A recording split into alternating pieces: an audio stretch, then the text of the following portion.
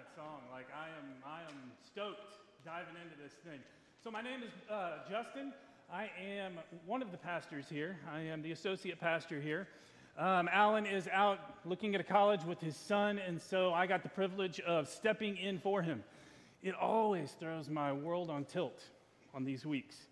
Um, not because I don't enjoy teaching, it's just not what I do on a weekly basis up here. I do teach on a weekly basis, just not up here.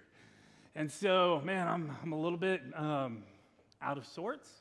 And I think I say that every time I come up here. Um, but man, I am excited about where we're going to go this week. If, you're, if this is your first time with us, man, the way we approach the Bible, we believe it is a very, very practical book.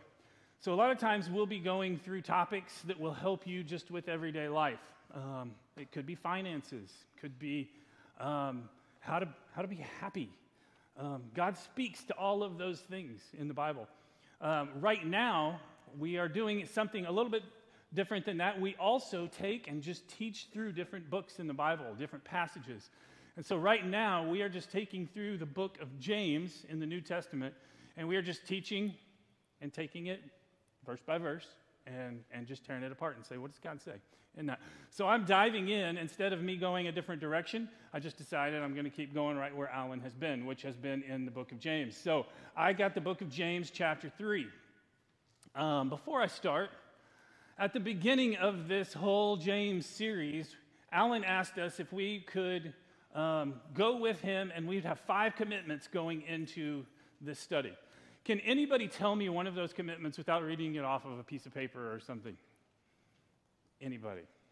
Jamie, I saw it. What? My son, sorry.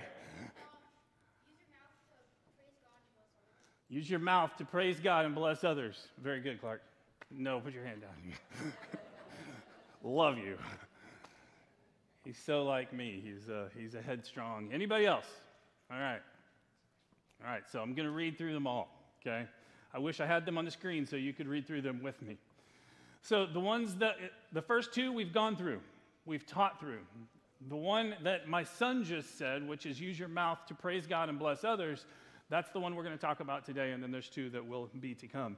So, let me just read through those. Um, so, five commitments I will be a doer of the word and not just a hearer. I will love my neighbor as myself. I will use my mouth to praise God and bless others. I will submit to God and resist the devil. And number five, I will confess my faults and pray for others. So that's what we have coming up. Those are the five commitments as we go through the book of James. So I don't think Alan will stand up here and ask you, but if he does next week, just memorize one of them. All you got to do is memorize one, and then you can raise your hand. So, all right, so the book of James, what I'm going to attempt to do, and I'm not going to attempt it, I'm going to do it. We're going to go through 12 verses. I have been known to be able to cover a lot of ground in a short amount of time, and so I think we can do it, okay? What I'm going to do is we're going to read through James chapter 3, verses 1 through 12 together, and then I'm going to pray and ask God, because I really need Him today, um, and then we will just start dissecting it. So if you, have a, if you want to turn to James, feel free to turn to James and we will dive in there. James chapter 3 says, My brethren, let not many of you become teachers, knowing that we shall whew, 12 verses, I gotta, gotta get it together.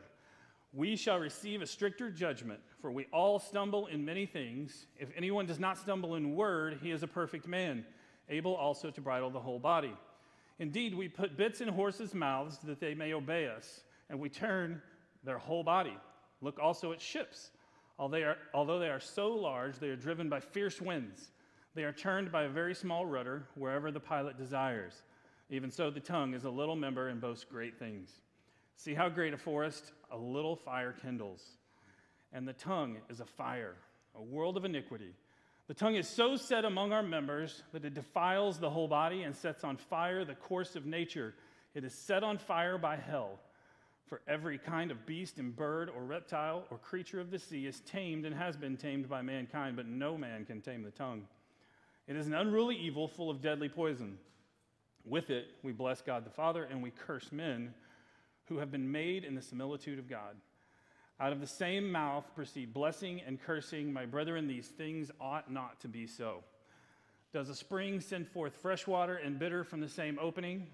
Can a fig tree, my brethren, bear olives, or a grapevine bear figs? And thus, no spring yields both salt water and fresh.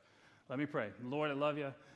Man, you know, uh, my desire today is to, um, number one, glorify your Son. Uh, and we owe everything to him. Um, but also, I just want to be true to the passage. I want to teach your book as you have written it, and I pray that you would help me to do that without bias today. Um, use it in our lives. Um, change others as you have changed me this week. And it is in your son's name I pray. Amen. All right, so James chapter 3, it's obviously all about the tongue. And what God does is there's like a, a dissertation on the power of the tongue. There's very little like do this, don't do that. There's very little. It is just, hey, this thing is for real. And so he takes this little dissertation in these 12 verses and he starts talking about the power of the tongue. And so we're going to I'm just going to break it into three sections where there's three different powers, okay? And we're going to look at those three things. So the first one is this. I, well, I've entitled the whole thing small and powerful.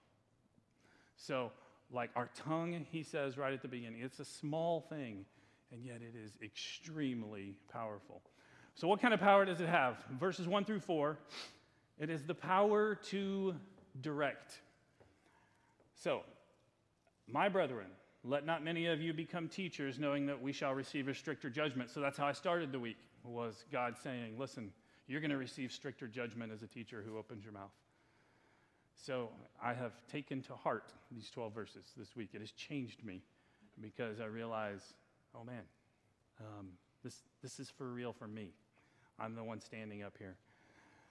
For we all stumble in many things. If anyone does not stumble in word, he is a perfect man, able also to bridle the whole body. Now, we skip right over sometimes big things. God says at the beginning, we all stumble, we, we all stumble in many things. Okay? I read over that and I want to just say, hey man, we all struggle to walk or whatever. No, it, God is saying we all sin. Like every person in this room is struggling. Every person in this room sins in some way. And if, I mean, you can look through the Bible and there's stuff called like the besetting sin each one of us would have. Like, this is the one that I heavily struggle with. I'm not going to say mine, although I'm not afraid to do that. Um, my question is do you know what yours is? Do you know where Satan tends to? And by the way, I know I use, we use Bible words up here sometimes. Besetting sin, all it really means is you're easily encircled. It means you wake up and go, oh man, I'm right in the middle of this again. Um, so, like, whatever your sin is, this is what God's talking about. Like, we all sin. Maybe yours is pride. Maybe you can't stand not being better than somebody else. Maybe it's lust. Maybe it's anger. Maybe it's drunkenness or greed, or homosexuality or lying, whatever it is. God says, hey, we all struggle. We all have our sin. We all are in the same boat together. Now, what's weird is this very first one, he says, the mouth, I said it has the power to direct. He gives two examples in the passage. The two examples are a bit in a horse's mouth, right? And a rudder on a ship. So let me read through those again. so I said, we all stumble in many things. If anyone does not stumble in word, he's a perfect man, able also to bridle the whole body. Indeed, we put bits in a horse's mouth that they may obey us, to turn their whole body. Look also at the ships. Although they are large and driven by fierce winds, they are turned by a very small rudder wherever the pilot desires. Now, I don't totally understand this piece of this passage. And there's a lot of the Bible that I will walk away and I will go, I don't totally understand that as a teacher. So if you're ever reading the Bible and you're like, I don't, I don't totally get that, I believe it 100%. But I go, man, I don't, I don't know how that plays out. He says this We all sin. Every one of us sin. We all have that problem. He says, if you can control your mouth, you can control everything else. That's what the, that's what the passage says. He says, Look, you sin in a lot of different ways, but if you can control your mouth, you can control the rest of your body. And so, listen, what God is saying in the passage is this just like a bit in a horse's mouth. I want to go that way. All I have to do, if I have a bit in a horse's mouth, all I have to do is change directions and I'll end up going that direction. If you have a problem with anger, what God is saying in this passage is deal with your mouth. I don't, I, I don't know how all of that plays out. If you have a problem with pride, deal with your mouth. Because if you want to overcome those things, your mouth will guide you. I don't know how that plays out totally. I know this it, it's a ship with a rudder. Like, I wish, man, I, I've been going this direction for many years, and I have this problem, and I'm just stuck in this rut. Cool, I want to go that way. It's clear as day. God says, deal with your mouth. Your mouth is your rudder, it will change your direction. And listen, the way I look at it is like this like, I, I remember there's this guy uh, from my past church that I really wanted to to learn from. I learned everything I could from him. And one of the things was in counseling. I went into counseling with him with a couple one, one time just because I wanted to see how he counseled this couple. And they said, he said, listen, when you, you guys, and it, this marriage was a train wreck, okay? Absolute train wreck. They were just, I mean, they, they did not even have any liking for one each other, for each other at all. And he says this, look, start with your mouth. And I just listened, and he was like, if you just start with your mouth and you start talking to each other differently, um, it's like an aircraft carrier. He's like, your relationship is like this big aircraft carrier. And if you will control what comes out of your mouth and make sure that it's good and pure and right, what it will do, you'll turn this. And by the way, on an aircraft carrier, you don't get to feel it turn. These people will do this until they can't do it anymore, and nobody knows that this ship is turning. And so what happens is you, you wait, and I've changed the rudder, I've changed what's coming out of my mouth, and 10 hours later, we're not going that way anymore. We're going that way now. And that's what the mouth will do for your life. Now, this biblical principle throughout, through, throughout you find it in other places. In Proverbs 21 23 says, Whoever guards his mouth and tongue keeps his soul from troubles. Now, listen, if you can control your mouth, you can keep your soul from troubles. Another place, Proverbs 10 19 says, In the multitude of words, sin is not lacking, but he who restrains his lip is, lips is wise. Listen, if you, if you don't have control over what comes out of your mouth, sin will abound, is what it says. It's all through the Bible. It's, a, it's, a, it is just a principle. Um, I think one of, the, um, one of the coolest verses I ran across was David. And by the way, almost all of the verses that we look at today are st- just stuff that David says. Um, a guy who struggled with sin and he comes through in Psalm 39 1 and he says, I will guard my ways, lest I sin with my tongue. I will restrain my mouth with a muzzle. I think it's awesome. And he says this I'm guarding what? What's he guarding? His, his ways. Listen, he's not just guarding his mouth, it is a path. I'm creating a path, and I create a path by what comes out of my mouth. I will direct. I am going in a direction because I have controlled my mouth. So, like I said, I don't completely understand it. What I know is that's exactly what the passage teaches. God says if you can control your mouth, you can control everything else. So you have the power to direct. Second, you have the power to destroy. Verse 5 says, Even so, the tongue is a little member and boasts great things. See how great a forest a little fire kindles.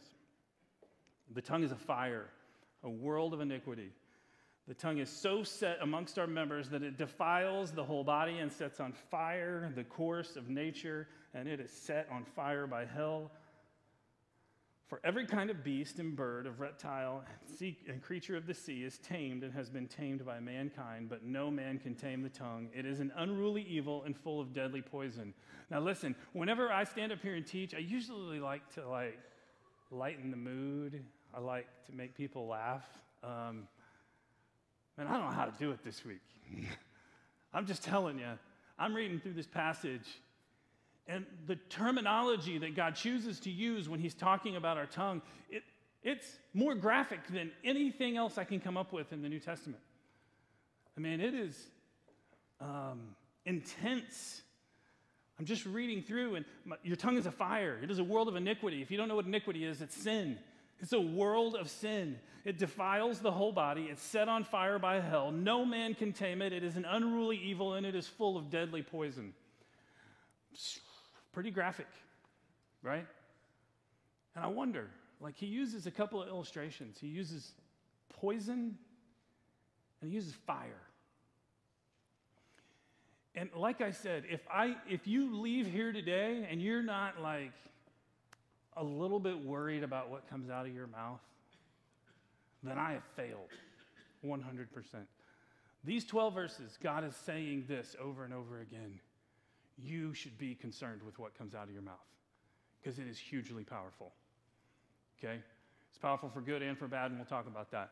But here's the thing He uses poison and fire. Like, I know if I were to take a cobra and just throw it out here in the middle of the group today, man, it would be. And I thought, how do I do that? Make that would be funny if I could make it, people think that it was a cobra. Anyway, if I were to do that, people would scatter. Why? Because they would be scared to death of that thing. And yet, we just talk. We have conversations with people without even thinking about the ramifications of what comes out of our mouth. Um, you guys, you guys with me on that? And I have had, and I say this in all honesty, this week I've had, in the last 10 days, I've had four different conversations, and if you're one of these, I'm sorry. Okay, I'm not judging anybody, but there's four different conversations that I've been a part of that I've had to go, I can't do this anymore. I'm done. Um, and it's not because people are bad, it's because God's been changing me this week to be able to go, I can't, I can't talk about this and I can't listen to this. And I know I haven't given you anything practical yet about what you should or shouldn't be talking about. But what God does through this passage is not just, and I will tell you, He doesn't give us a lot of practical, just wants you to know your words have power. They have the power to destroy. The other thing, after poison, he, well, right before poison, he talks about fire. I looked at, like, I was looking back and just searching fires, and I was looking at 2020 in the state of California. Like, 2020 was terrible for everybody, or for most. Um, you know, we all had we had all the quarantines and we had people getting sick and dying, and it was legitly a hard year. But California, they had they were piling on top of that. They had over 9,000 forest fires in that state during 2020 which is double what they normally have. They had like 40 million acres just consumed by fire. And so I started digging a little bit and I was like, I wonder, I wonder like how those fires start. And so I started digging and they and they said, yeah, after they do the studies, almost 90% of the fires that start in the state of California, they come to the conclusion that it was just carelessness. Like somebody was camping and they got up and there was this fire going that they had going the night before, but they looked at it and said, It looks like ashes, let's go. Right? And then a big wind comes through, cleans it off, finds the embers, and they start flying. right? That's how most of them happen. Just carelessness. And I just want us today, I want to challenge you to quit being careless with your words. Um, there is a verse, I have it Psalm 12, verses 1 and 2. David says, Help, Lord, for the godly man ceases, for the faithful disappear from among the sons of man. Listen to me, there's no godly men, there's no faithful men. And then you would think he's going to like tell you how bad it is. He does. And what becomes so bad, he says, they speak idly with his neighbor. With flattering lips and a double heart, they speak. Like there's no faithful men, so what's happening? Every person is just having idle conversation. And what that means, I looked it up. Initially, I looked it up and it was, was lying. And no, it's not lying. It is, I don't care whether it's a lie or the truth. I don't care. I'm just talking. And usually it's just talking for the sake of your benefit. So, like, I don't, I'm not worried about it. I just speak idly with everybody, which, by the way, God says we will give an account for every idle word that we speak. Why will we do that? Because it's powerful, it makes an impact, it burns, it consumes. In the midst of this um, passage, he talks about the fact that it is set, the tongue is set in the middle of the members and it defiles the members. And I just think, man, what a great picture of the church. Like somebody who's running their mouth constantly in ways that they shouldn't just defiles. And I'm telling you, if we don't, as individuals, somehow have some kind of filter as to what comes out of our mouth, and we don't have our tongue bridled, we'll burn this place to the ground. We'll burn each other, we'll burn our families, and we'll burn ourselves. That's what the passage says. The problem is we just don't believe it. So we just keep talking idly. I have this. Um, will you guys give me just a little bit of grace right now? Like I'm gonna, I'm gonna talk. I'm gonna be, I'm gonna preach for a second. You guys good with that? So I've lived in I'm, I'm just going to make an observation. You can take it for what it is. I've lived as an adult. My wife and I have lived in four states. Every state we go to, there's differences, right? There's like um, this move to Florida was the biggest drastic change of any of them because most of ours were in the Midwest. So, like, lightning goes across the sky, not straight down. I don't, I, I don't, I, have looked it up and tried to understand why lightning strikes straight down. I hear, I, I don't know. I can walk outside and bet you it's going to be one of the coolest skies I've ever seen in Florida. I mean, the skies are like, wow.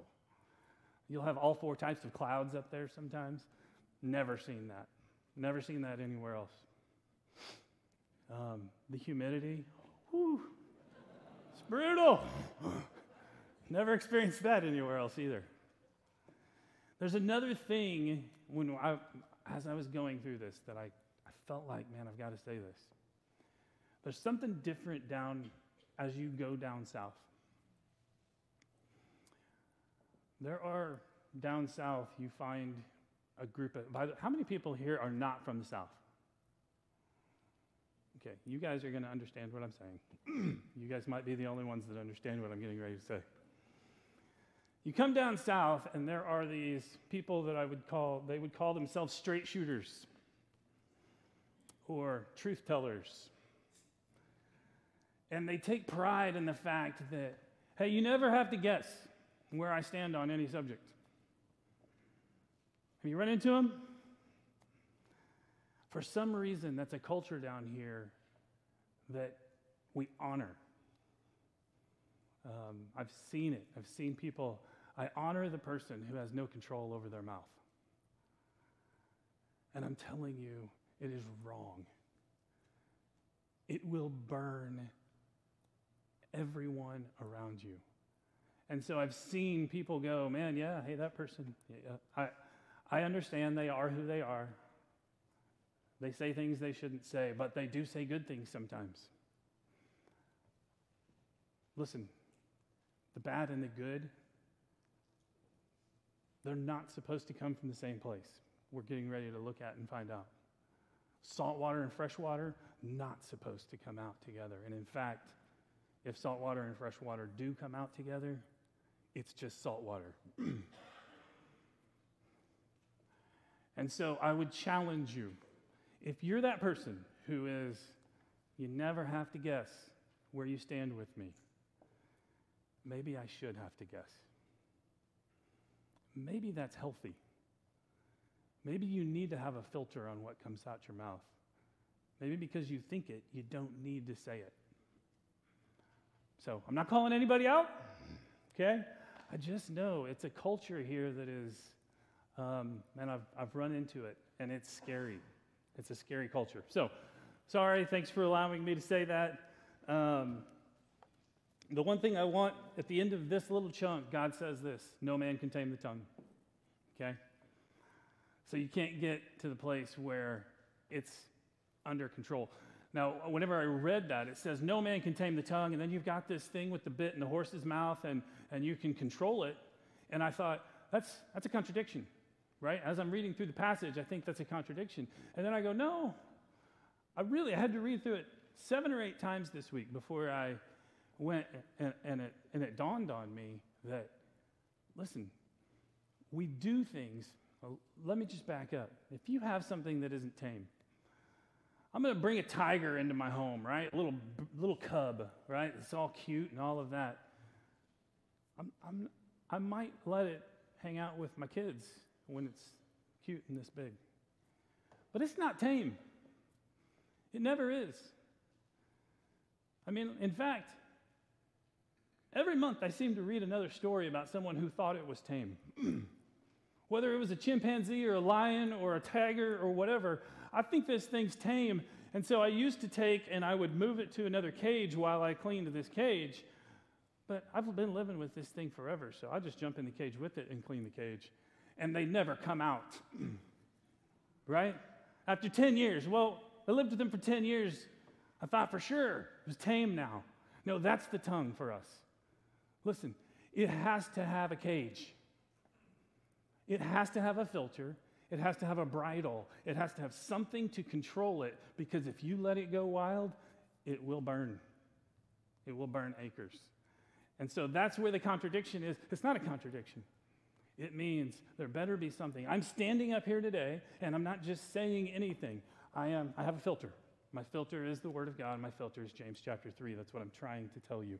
And that is what we have to do every day. We have to have a filter. If we don't, it's poison. It's poison. So, all right. So it has the power to direct. And by the way, I want to read this verse. I love this verse. So before I jump into the second one, can you pull up James 1:26? James 1:26. If anyone among you thinks he's religious, does not bridle his own tongue, but deceives his own heart, this one's religion is useless. I know we talked about that Alan went through that. Listen, what we're doing here, it's worthless. If we don't have control over what comes out of our mouth, God says this it's worthless, useless. Don't be religious if you won't take the time to bridle your tongue. All right, so the power to um, direct, the power to destroy, and last is the power to sustain. So there's some positive things in this, in this last little passage. And he uses food and water as his illustrations. Just two, two illustrations on each one, and he uses food and water. Um, because our, our tongues have a positive impact. They can. Um, it has the power to sustain, but it also has the power to kill, which we just looked at. Verse 9 says this With it we bless our God and Father, and with it we curse men who have been made in the similitude of God. Out of the same mouth proceed blessing and cursing. My brethren, these things ought not so to be. Does a spring send forth fresh water and bitter from the same opening? Can a fig tree, my brethren, bear olives, or a grapevine bear figs? Thus, no spring yields both salt water and fresh. Now, listen, why is this important? Proverbs 18:21 sums it up. Says, 18:21, Proverbs. Yep, it's right there. All right, I'm going to read it to you. Death and life are in the power of the tongue, and those who love it will eat its fruit. Death and life. So your tongue has the power to grow life, to be life for people. It also has the power to kill. Proverbs 15:4 says, "A wholesome tongue is a tree of life, but perverseness in it breaks the spirit." And I could go on and on and on and on with these verses. There are a ton of them. But here's the thing your, mouth has to be used correctly. And so this passage says this with our mouths, we praise God. It's great. That's what we should do. We sat up here, we had our worship team lead us, and as a group, we praised God. But then he says, and then we'll walk out the door, maybe for some, before you ever even get out the door, and we'll start talking about each other in negative ways. And so, uh, as I was working through this, there's really only one thing that the passage says don't do this, right? And it doesn't really say don't do this, it says these things ought not so to be, is what it says. And so, I'm looking at the passage, and I love for the passage to be practical, and I love to teach practically. So, I have to understand with it, we curse men. I have to know what that means, right? Because I know I'm not supposed to do that. I'm supposed to praise God, and I'm not supposed to curse men. And I have read this a hundred times, and I really don't know exactly what that means. I know curse could mean say bad words. I don't think that's what it's talking about. I know that's not what it's talking about. Um, curse could be, I mean, I'm thinking like a witch cursing somebody, casting a spell, and obviously that's not it. I don't know what does it mean? So, anyway, I take the word, like I always do, I take it back through the New Testament. This Greek word is mentioned six times in the New Testament. Every time it is translated curse. Didn't help me. um, I will say there are a few places where it, within those passages it would tend towards dislike or use somebody if we went through those six. And so I decided, okay, let's look at the Greek word curse and let's see what does it mean. And I went there. And it ties it to two English words. The two English words are imprecation and execration. And I went, sweet, I have no idea. I'm out of here. Um, I want to do this, God. Help me figure out what does this mean? Imprecation and execration. So I did the study. So, imprecation means a spoken curse. Okay, now, now I'm in a roundabout, right? I'm back to the word I was trying to figure out. But it's also a desire for negative circumstances. So I desire negative circumstances on somebody. And I thought through that and I'm like, I don't really desire negative circumstances on people. And then I thought, and I went, oh, yeah, I do. I do all the time. You ever have somebody in your workplace that gets that gets a promotion that you think you might have deserved that? You ever sit in a in a room and your your kids are somebody else's kids are honored and yours are not? And that drives you crazy and internally. Like it's easy for me to go, I don't want something bad to happen to them, but I sure don't think something good should happen to them. You know what I'm saying? Um, we have a desire to want to knock people down to where we think they should be. And I do it all the time. I can remember there was a, a family when we lived in Ohio, there was a family, and their family was always putting themselves on a pedestal, and they were always the talked about as the goal. And it drove me crazy. Because um, I didn't think they were the goal. I didn't want to be like them. And so I constantly was just struggling with, man, I, I feel like, and then one day, man, one day, I was in the workings of this family a little bit. One day, I, I got it. I got the silver bullet. I found out something about this family and nobody else knew. And all of a sudden, I had this silver bullet, and I knew, man, when they put themselves on a pedestal, I can shoot them down. And I knew in me, this, this, is, this is what this is talking about. I can look back to that day and go, yeah, that's what this is talking about. And I had this desire in me to take this family down and knock them down a notch. That's what it means. So that's one. and by the way, silver bullet, I still have it. I'm glad that I still have it. Not because I'm ever going to use it, because I didn't shoot it. um, execration. Oh, by the way, no, I'm, i got to go back to this first because this is like my favorite. Micah 6 8. You got it up there? Yep. Practical ways to guard your mouth. No, Micah 6 8. Do we have that? There it is. He has shown you, oh man, what is good and what the Lord doth require of you, but to do justly, to love mercy, and to walk humbly with your God. I love this verse because, man, we all want to do, like, it, it's so simple, right? It's so simple. Do just, love mercy, walk with God. Okay, we can do that, right? Here's the problem. And this is where this verse becomes hard. We do just, right? Which just means right, to do justly. I do what's right every step of the way, right? And then God says you need to love mercy. Well, who doesn't need mercy? If you're doing what's right every step of the way, are you the person that needs mercy? No.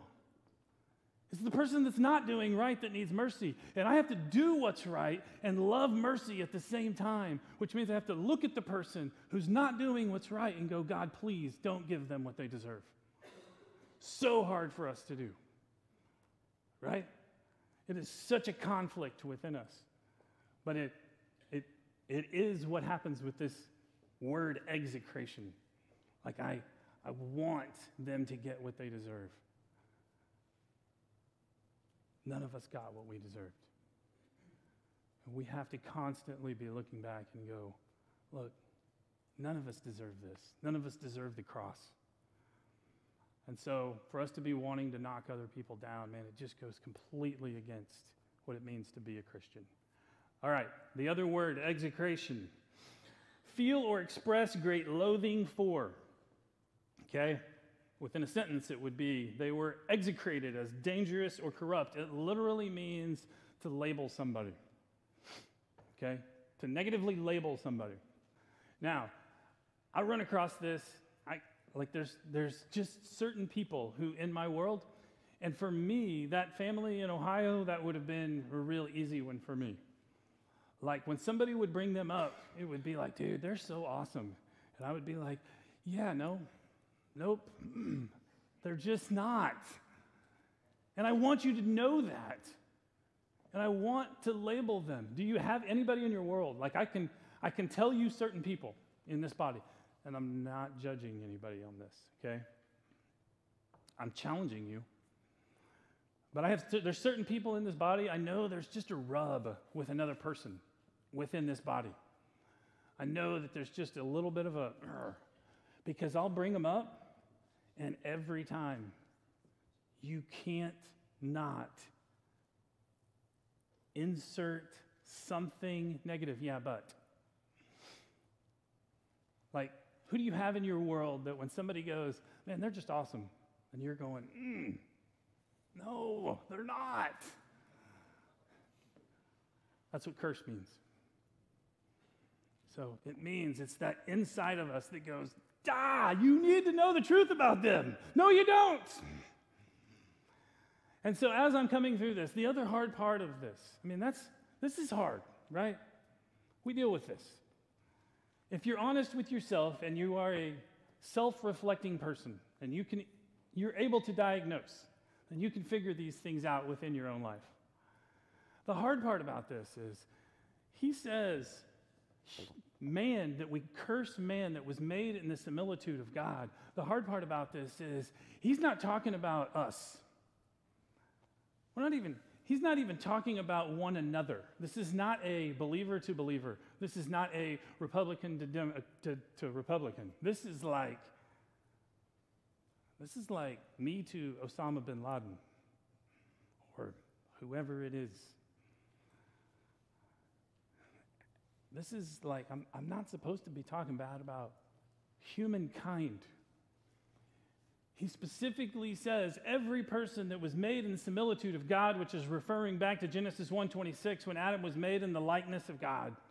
Every human that has been made in the likeness of God, we are not supposed to curse. We are supposed to speak well of. That person that is homeless that is going to walk up here at the end of church and say, hey, man, I have no gas and I've got to go. Look, I, my brain all, wants to stereotype and wants to do all of those things. And look, we got to love them. We get, that's what God is calling us to. All right, I'm getting off, getting off a little bit. so the hard part is it's everyone. And so my question is then, like, is there ever a time when we can speak? I'm, I'm going to try to be practical from here on out. All right? I'm doing my best to paint the picture that James did, which is like, man, this is important. But I got to give you something to go home with. so, the question is is it ever okay? Is it ever okay to talk bad about somebody? Let's say I pay somebody $6,000 to go put up a fence in my backyard. They never put the fence up, they run away with my money, and now they're talking to my neighbor. do, do I go talk to my neighbor and say, hey, I dude just ran off six grand of my money? Yes, absolutely. Um, that's not what God's talking about. But it is a hard line for us to draw, right? So let me, let me, I'll give you three questions to ask that usually will answer the question. Number one, does what you're saying need to be said? Okay. Number two, are you saying it to the right person? So I, I always think it's funny. I'll be like, they'll be like, hey, somebody will be having a discussion with me. You know, I don't like the way she does this. Cool. Yeah, you should probably tell her that. Well, I have told her that. Okay, then you should probably just shut your mouth because I don't know why you're telling me. Um, unless it's sin and we need to follow up with it, you talk to the right person, and then the question is do I need to say this? And number three, whose best interest do I have in mind? Have you asked those three questions? It's going to filter out a lot. Do I need to say it? Am I saying it to the right person? And whose best interest do I have in mind? Usually it's your own. Usually you want to be you want to feel better than the other person, and that's why you're running your mouth. And when we come to those conclusions, yeah, I'm not supposed to do that. So you can run through, ask those questions, practical ways that you can guard your mouth before we before we get out of here. I'm going to give you five. I'm going to run through them. So I'm not I'm almost done. I'm going to run through these five. And by the way, I think it's interesting. The first time the tongue is mentioned in the Bible, God is telling Moses, I want you to go do this. I want you to go talk to Pharaoh for me. And he says, Look, my, my tongue is slow to speak. I can't do what you're asking me to do. And so for some of us, we're looking and we're going, what, what humankind is going, I can't, I can't really control my tongue. No, you can, just like Moses could. God tells us to do it. Practical ways to, to guard your mouth. Number one, agree with God about it and ask for forgiveness. Listen to me. If it's sin, if you shouldn't be saying it, then you need to agree with God about it. 1 John 2 1 says this My little children, these things I write to you that you may not sin. And if anyone sins, we have an advocate with the Father, Jesus Christ the righteous. Listen, you will sin about what comes out of your mouth. You will, okay? And you have an advocate with the Father. It is Jesus. Go to him. That is what the gospel is. Live a gospel centered life. When you fail, go to the cross and say, Sorry, I know you paid for this sin, and I don't want to do it again. That's it. In this case, if you're talking about somebody, you may need to go to them and ask for forgiveness too. So agree with God about it, ask for forgiveness. Two, choose your company wisely. It's a big one.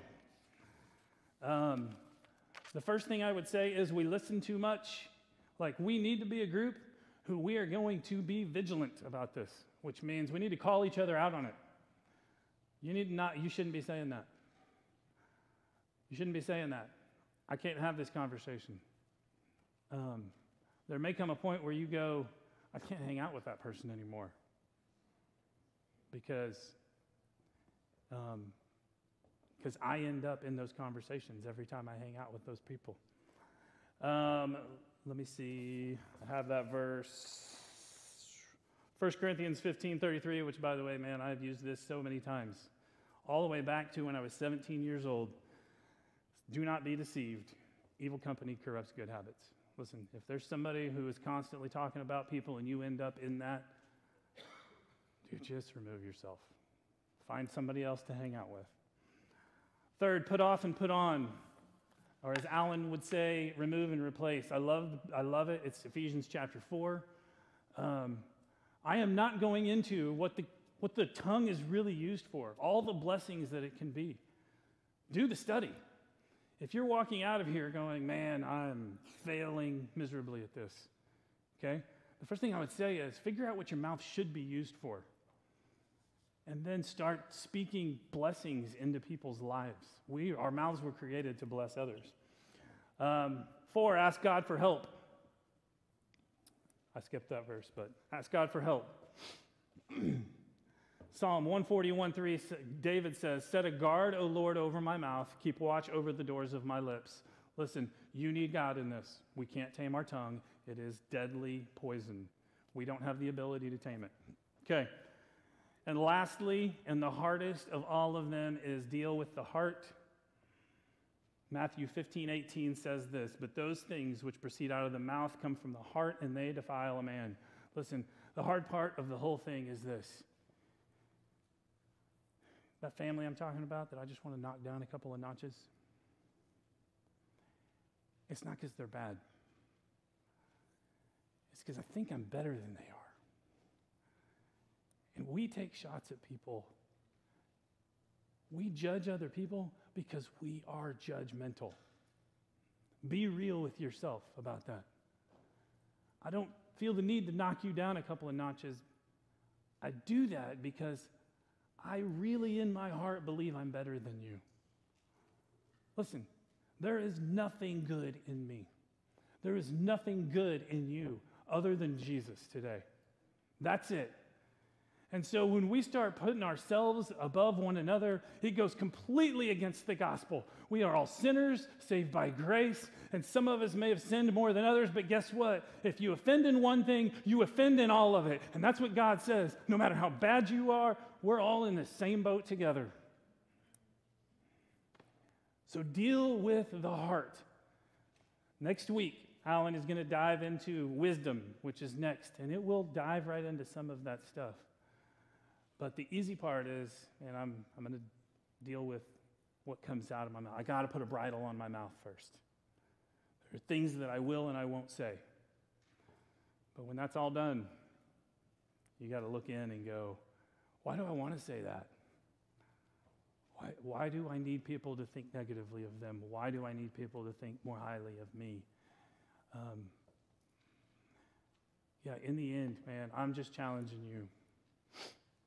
This week, I read through this and I decided I'm not bringing a tiger into my living room to watch TV with me anymore. I'm not. It'll kill you. It won't just kill you, it will defile the members. You will defile this place. You will burn this place to the ground if we do not take this seriously. And so I know it's heavy. I'm not the best at heavy. I like to make people laugh and stuff. So, um, man, this week, though, it's where we were. And it is real. Um, and we have to take it seriously. So, Lord, I love you. I thank you for your word. I thank you that you. Um, Man, that you give us clear instruction on how to use our mouth. And I also thank you for grace, that when we fail, you um, always correct us and love us and take us back. It's in your son's name I pray. Amen.